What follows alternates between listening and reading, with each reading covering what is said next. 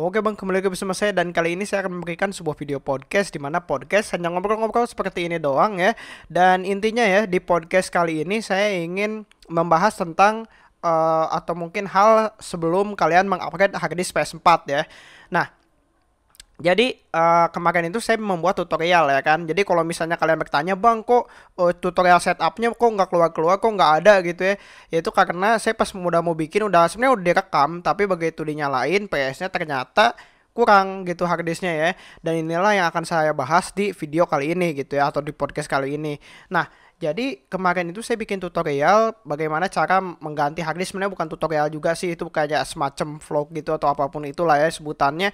Jadi saya mengganti harddisk dengan SSD ya. Nah saya juga rencananya rencananya mau nyobain gitu apakah dengan SSD ini apakah ngaruh gitu ya. Kalau misalnya berdasarkan internet itu katanya ngaruh katanya tapi saya nggak percaya gitu aja gitu kalau misalnya saya nggak nyoba sendiri.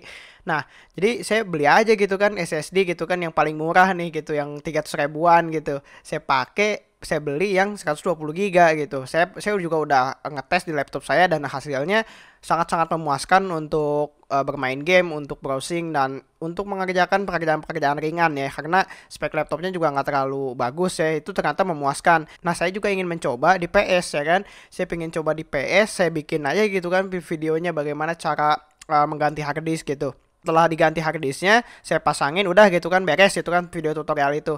Nah saya juga ikutan rekam juga nih gitu ya ikutan rekam jadi ikutan rekam uh, bagaimana cara setupnya setelah ganti harddisk gitu kan saya udah isi file update nya saya udah uh, backup save gamenya saya udah backup gamenya gitu ya untuk ganti harddisk eh pas udah diganti harddisk gitu ya pas dinyalain kagak bisa gitu ya tulisannya minimal harus 160 giga ya. Jadi kalau misalnya kalian mau ganti uh, atau mungkin upgrade hard disk ke SSD, saya saranin kalian jangan menggunakan yang 120 giga karena nggak akan bisa ya. Dan saya kira bisa gitu dan rencananya itu saya PS4 saya itu uh, SSD-nya itu nggak akan saya isi game. Jadi ya itu kayak file untuk sistemnya aja apakah bakal jadi ngebut atau enggak, apakah bakal jadi pengaruh atau enggak kalau misalnya saya pakai untuk main game ya.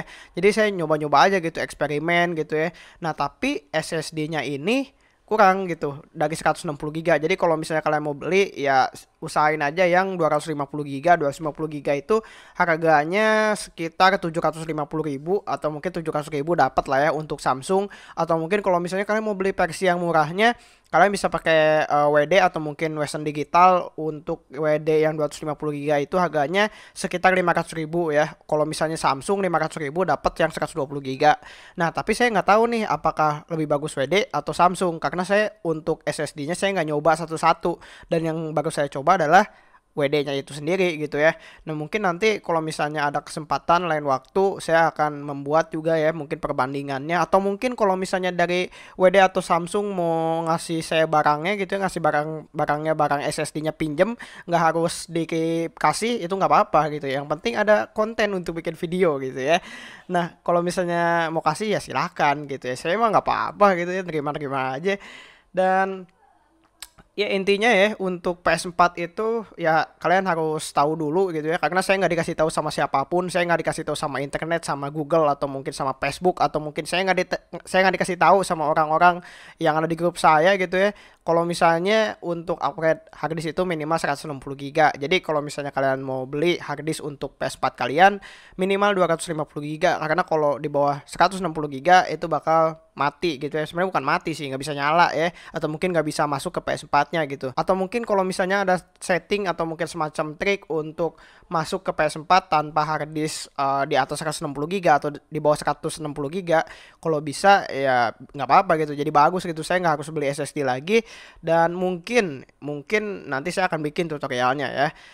Dan ya kayaknya cukup segitu doang untuk video podcastnya. Intinya kalian harus uh, membeli hard disk atau mungkin SSD di atas 160 GB karena bukannya apa-apa itu takutnya nanti nggak bisa gitu nggak bisa masuk ke PS4 nya takutnya lebar juga gitu atau sayang juga gitu kalau misalnya kalian beli dan ternyata nggak bisa dipakai gitu. Dan ya kayaknya cukup segitu doang untuk video podcastnya Jangan lupa untuk like, share, dan subscribe seperti biasa. Nama saya Reda Tukar Bekasiat dan thanks for watching. Bye-bye.